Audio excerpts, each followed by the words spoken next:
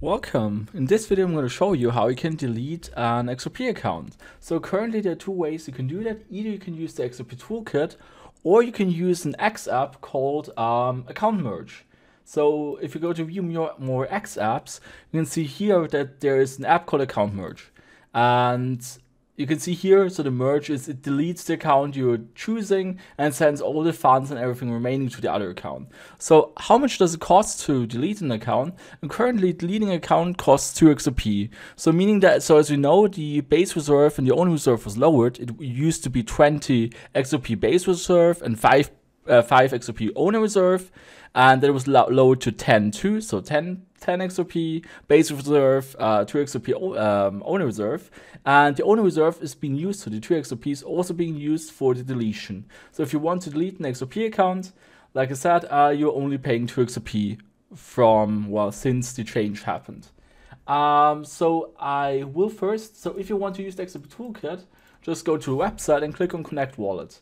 Then you can use any of these devices here, so Ledger device, Cold Vault, D'CENT Wallet, or the XUMM app. So we'll be using the XUMM app, and I will use a workaround since I've got a phone emulator there.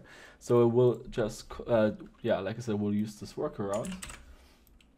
Um, because as you know, a QR code just stores data, and in this QR code there's this link hidden, and I will just paste this link in my browser.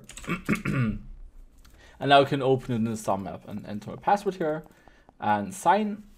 So after signing it, I can see it here in the XRP toolkit. So you can see right now I've got 12 XRP on the account, 12 XRP are locked, and I've got one trust lines set.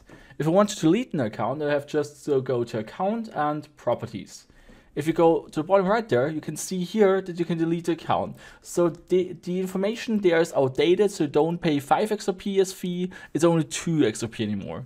You just click on proceed, and what I prefer using the XRP toolkit for deleting an account is you can see here if you if if all the requirements are, are met. Because before you can delete an XRP account, the account must be at least 1,000 ledgers old.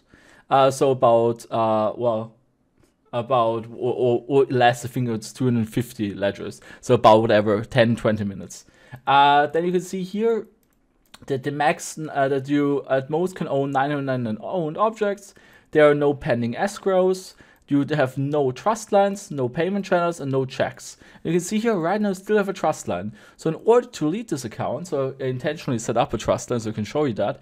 And so in order that you can delete this account, you have to first remove the trust line and everything else. I will go to the trust line and I will click on remove. And I will again have to sign that, go to events, go to sign request and scroll down and sign that. And after signing that, I will, uh, well, I will repeat the procedure. So going back to account, going to properties and clicking on proceed. And now you can see everything is in check. So uh, uh, all the requirements are met. Now I can define where I want to send it to. When, uh, so where do you want to send my remaining funds? And I'm just going to go to XRP scan. I'm just going to enter XRP dev, copy my account address here. I'm going to send it there. And as you know, I don't need a destination tag. In the meantime, I'm also going to show you quickly the X app. You don't have to use it, but I just want to show you that one as well. Like I said, you could also use just the account merge and click on I'm ready, continue. Could select the account you want to delete. And then afterwards, specify where to send it to. So in this case, I would send to um, to the other one, to the main account. Um, it's also possible if you preferred using the phone. And then after clicking on that and signing it, then you would delete the first account you selected. Then it would be sent to the second account. And then after signing it, it would be done. But like I said, so for those people who prefer have using the X app on your phone, then you can use it. I prefer the website uh, since I'm more of a desktop user. And also you can see here you got more additional information. I prefer that. Um, right, so I will do the delete here, so on XRP Toolkit, and now I'm just going to click on next. And you can see here the fee is 2 XRP. It's not 5 XRP, it's only 2. But like I said, the display information here was incorrect, or wasn't updated yet. And you can see here, uh, yeah, I'm intending to do the transaction fees to XRP when deleting your XRP Ledger account and sending the remaining balance to an exchange. Make sure destination tag. Okay, there's another information. As always, when you do a payment, then you also have to check that the destination tag, if you're sending it to an exchange, is set correctly. All right, so now I'm signing it. And now this account right here is going to be deleted in any second after it's being validated and the account is gone. And also here you can see the account is not activated. It still has the history, so that's not gone. All the funds are being were retrieved. Um, and also, if you just send uh, 10xRP to this account again, it's going to be activated. So just because it deleted it doesn't mean the history or anything is gone. So everything's still there, but the account is just not activated. And yeah, that's how deleting an account via XRP Toolkit or via the XUMM app works.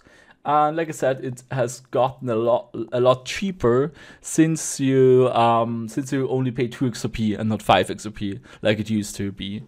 Alright, so that's it for this video. I hope I was able to help. Well, I hope it was informative and see you in the next video.